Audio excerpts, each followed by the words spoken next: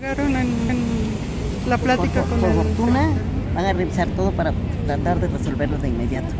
Eso es eh, una plática que tuvieron con, Con el señor secretario de, de de gobierno de y con el señor secretario de finanzas. Los dos. ¿Qué, qué es lo que le plantearon ustedes? Van Bueno. a pagar, van a pagar todo el- pago de, los lo- la nómina que falta de los pensionados. de ¿Tienen, una parte.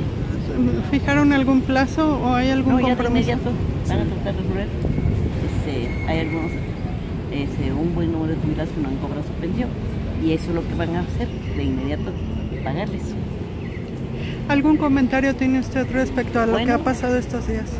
¿Cómo sobre qué? Pues ya ve qué ha pasado estos días y el día de hoy ha sido un poquito Bueno, duro. ¿no? mire, Vamos a estar pendientes de que paguen, si no tendremos que hacer alguna acción.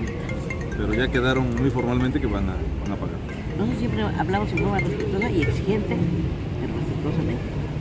Por los representados del sindicato que del. SETSE, S-E-T-S-E. Sí.